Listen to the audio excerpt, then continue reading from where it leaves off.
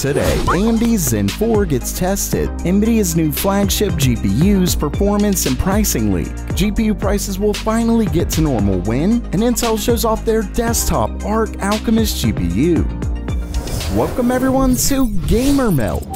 First up for today, AMD Zen 4 is set to release later this year with their Ryzen 7000 parts. Unfortunately, we don't know much about the upcoming architecture, other than the fact that it's built on 5nm, has some great clocks, PCI Express 5.0 and DDR5, okay I guess we do know quite a bit. Well, today we get another look at the architecture through a leaked benchmark, and it's pretty huge. The benchmark comes from Geekbench, and as you can see, it's of a 32-core 64-thread CPU, and the OPN code is associated with AMD's next-gen EPYC Genoa CPUs. So these are server chips, but it gives us an idea of what to expect out of next-gen Ryzen as well. So far, AMD has confirmed that Genoa gets up to a whopping 96 cores, and it looks like we can see why. While the L3 cache remains the same, this sample is showing double the L2 cache, so a big performance jump is likely coming. As for the performance, this CPU isn't all that great, but it's an early sample with fairly low clocks. At the end of the day, AMD's Zen 4 is set to be a serious jump in performance. Time will tell how it competes with Intel's next gen. But first, I've got a great deal for every PC gamer out there, and it's brought to you by this video's sponsor, Micro Center, the retailer that sells everything a PC gamer could ever want for their build, and they use real physical stores where you can see your PC parts. I mean, what other place can you select from a full aisle of motherboards, tons of cases that you can see before you buy, or even custom water cooling loops? Where else can you get that? Well, Micro Center is it, and it's where I bought components for my first ever build. Plus, they have real, knowledgeable staff who build their own PCs and help you along the way. It's basically a PC gamer's heaven, and they're offering you a great deal. When you click my link in the description, you'll get a coupon code for $300 off a sweet gaming laptop for new customers. I'm talking an RTX 3060, 16 gigs of RAM, 1TB SSD, and more. It's a great laptop to get you into the world of PC gaming. So visit the link in the description to get yours today.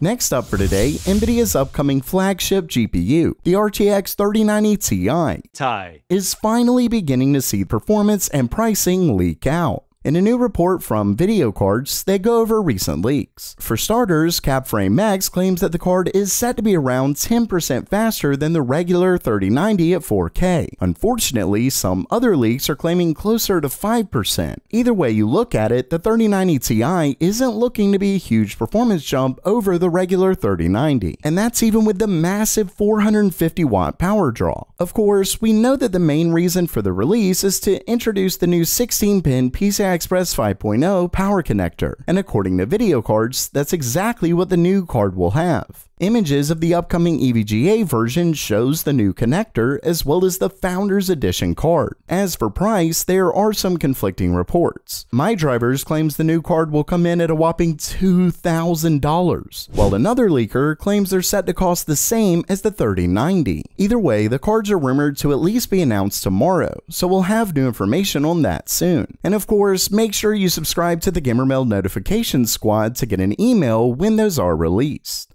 Next up, if you've been keeping up with GPU prices, you know that quite a few stories have been showing that things are getting better. And today, I've got three of the biggest stories yet. Starting things off, we have a story from PC Gamer, who's recently noticed that GPU stock has been getting back to healthy levels. But what's bigger is that PC Gamer spoke with one of the largest GPU manufacturers out there, ASUS, and according to them, they're quote, reducing MSRP aggressively, and that they're dropping prices across all SKUs. This makes ASUS the first third-party manufacturer to do this, and according to a supply chain expert, this will likely force other suppliers to do the same. Basically, the day we we've been waiting for is finally happening, and we can already see it in the market, as the second story comes from 3dcenter.org, who's been reporting on the GPU prices from the beginning. In their most recent update, you can see that both AMD and NVIDIA GPUs have reached their lowest point in 15 months, really since 3D Center has kept up with it, and likely since the cards were released. you can see that both manufacturers are only 25% over MSRP, which is obviously still quite a bit. But in a news story from TechRadar, they spoke with a rep at the retailer box.co.uk, and according to him, we can expect attractive pricing in late April or May,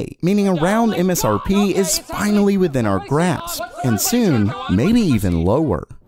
And lastly for today, Intel has officially shown off one of their Arc desktop GPUs. For those who don't know, Intel has an event in just a couple days where they're set to go over their ARC lineup, and ahead of that, they shared a couple videos. First up, they shared a quick teaser on Twitter with the 330 date, and in that video, it's just a few seconds of what's clearly a laptop, so Intel's certainly set to announce their mobile lineup, likely their A350M and A370M, but I obviously mentioned desktop parts, and that's where a video is shared on Intel Graphics' official YouTube channel. In the video, a senior program manager at Intel, Bob Duffy, goes over setting up a scene in Blender. And about a minute and 10 seconds into the video, this pops up, where it says, quote, demonstration conducted on Intel Arc pre-production desktop discrete graphics card hardware. Results may vary. So it's definitely an Arc desktop GPU. And what's interesting about this is that it means we could actually hear something about their desktop line on the 30th, not just their notebooks. Anyway, back to the video, the presenter shows some depth of field blurring, how quickly Intel's GPUs can update the scene when changing materials, etc. Unfortunately, they don't show us the technical details of the card, but they did render the desktop scene, which finished in about 7.3 seconds. Now, we don't have any other GPUs to compare it to, but it's nice to see Intel has reached this point with their GPUs. The update to Blender with ARC features built in is set to come sometime in Q2, which is obviously the same timing for when their desktop GPUs launch. And of course, that may sound far off, but keep in mind that Q2 starts in April, so things are definitely coming soon. So while that does it for today, are you excited for Intel's first real jump into GPUs? Or are you pumped that GPU prices look to finally be returning to normal? Let me know down in the comments below. And if you liked the video, please subscribe. And as always, have a great day.